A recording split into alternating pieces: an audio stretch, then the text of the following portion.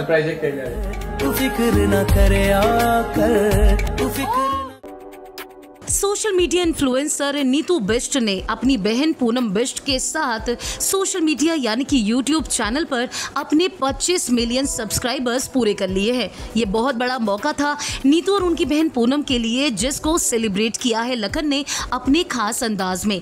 लखन रावत ने हाल ही में एक वीडियो को शेयर किया, जिसमें उन्होंने अपनी पत्नी नीतू और साली साहिबा पूनम को सरप्राइज़ दिया। जी हाँ 25 मिलियन पूरे होने पर लखन रावत ने बड़ा सरप्राइज़ प्लान किया था अपनी बीवी नीतू के लिए और इस खास मौके पर लखन ने अपने तरीके से एक सेलिब्रेशन का माहौल बनाकर रख दिया। नीतू बिष्ट और पूनम ने दोनों ने ही बहुत ज़्यादा मेहनत की है अपने चैनल के लिए और इसी को देखते हुए लखन ने दोनों को बहुत अच्छा गिफ्ट भी दिया। लेकिन ये क्या? नीतू की इतनी बड़ी खुशी और उस खुशी में कहीं पर भी ससुराल वाले शामिल नहीं।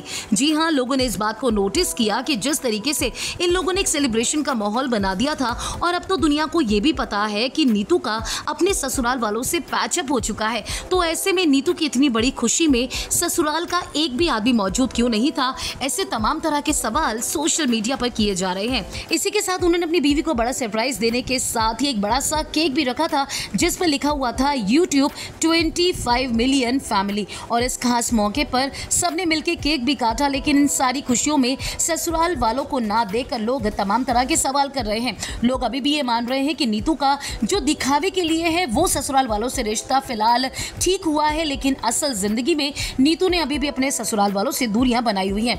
अब लोगों के इन कमेंट्स पर, लोगों की इस राय पर क्या है सच्चाई, वो तो लखन और नीतू ही बता सकते हैं। फ़िलहाल तो जिस तरीके से नीतू ने इतनी बड़ी खुशी ज़ाहिर की है सेलिब्रेट किया है, इस पर क्या कहना चाहते हैं? और आप खासकर लखन ने जिस तरीके से नीतू की खुशियों को डबल कर दिया, इस पर जो भी आपकी राय है, हमारे कॉमेंट सेक्शन में आकर ज़रूर बताएँ।